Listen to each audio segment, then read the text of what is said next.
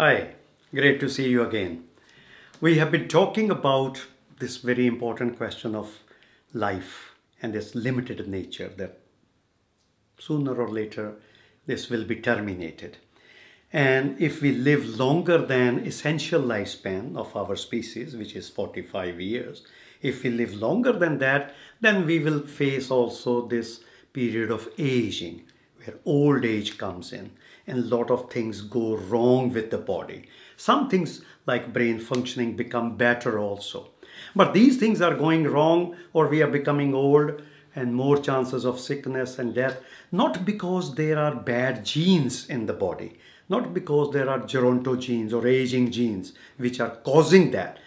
It is because our survival genes, the genes which keep us alive, are not working properly. And why don't they work properly? Now, that is the biggest paradox of life.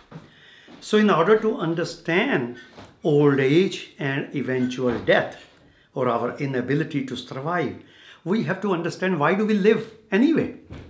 Yeah, because the things which keep us alive, without which we cannot live, are the same things which kill us. Hmm? We cannot live without oxygen without proper utilization of our breathing abilities and our breathing style. Oxygen is the basis of life, but oxygen is also the basis of death. Because whenever I breathe, I produce lots of these free radicals or other reactive oxygen species, which creates so much trouble in the body. It's actually a miracle that I live with so much damage happening. So oxygen, which is the basis of life, is the basis of death. Food. As soon as we eat food, a lot of things in the food, especially sugars, glucose, etc., how much damage they create immediately in the body. There are books and books written and thousands of papers written about the effects of oxygen, glucose, how it causes damage in the body. Basic biochemistry yeah, how the DNA is duplicated, how proteins are made, how carbon is utilized, how uh, uh, what happens during breathing, what happens during exercise. All these biochemical reactions make lots of mistakes, errors. There is no perfect system. These errors are all the time being made. When I go out in the sun, the sunlight hits my DNA and then it has to repair and it makes errors. That error, if it's not taken care of, might result into cancer 30 years later.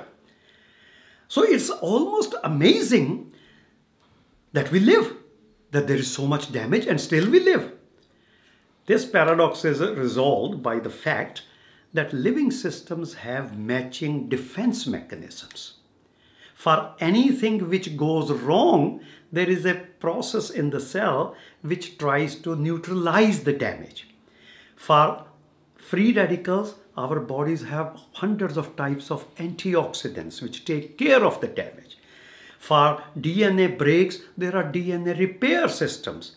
There is protein turnover. Yeah, there is protein repair. There is immune system. There is thermoregulation system. So from right down from inside the cell to highest level, which also in our case will include our social relationships, our mental powers. These are the processes of maintenance and repair.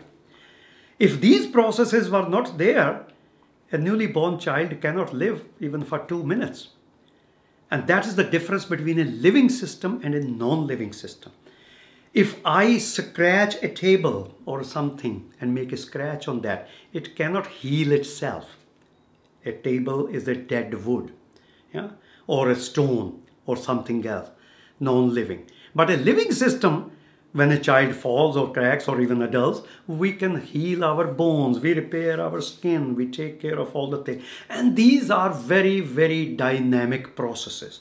They are working all the time. In old biological texts, we used to use the word homeostasis for that which basically mean same state. Now this word was given in 1930s based on the machine model that our body is a machine and there is a same state to be maintained. And that's why we call it homeostasis. But then there has been a lot of understanding coming that our bodies are not like machines. They are very dynamic processes. They are the same, but they are changing also. So in between, there was a very popular term which came for a while, which makes some sense, and that's called allostasis, which means changed state. So homeostasis was the same state, which actually is never there. We never have the same state. Then came whether we have a changing state, allostasis. But we have the changing state, but we are also the same. Yeah. So I am changing, but I am also the same. But I am not exactly the same. That's where the word comes homeodynamics. That we maintain the dynamics of life. And that is why we live.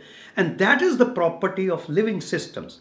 And our ability to live in a healthy manner, that ability is called also homeodynamic space. How much surviving ability I have is kind of a buffering capacity also. Of course, things can go wrong at any age. Yeah, when we are young, a child is born with a very small homeodynamic space, but then it grows up and homeodynamic space becomes bigger and bigger. But there is a danger zone. Things go wrong even with children, yeah, due to many reasons. But normally, until the age 25 or so, we grow this homeodynamic space to become absolute youth. And this is the homeodynamic space which determines how our old age is going to be, how long we are going to live. So we need to learn how to maintain homeodynamic space. The zone around homeodynamics is the danger zone where things can go wrong. And that danger zone becomes more with age. And the reason is that all these defense mechanisms, which were earlier protecting us and only allowing a small level of damage to accumulate, cannot function properly. And more and more damage at the DNA level, protein level, cell level, tissue level, damage accumulation happens. And our homeodynamic space becomes smaller and smaller. On a day to day basis, we can live but if something new happens, it is really problematic. So what is this homeodynamic space? I will explain it a little better next time.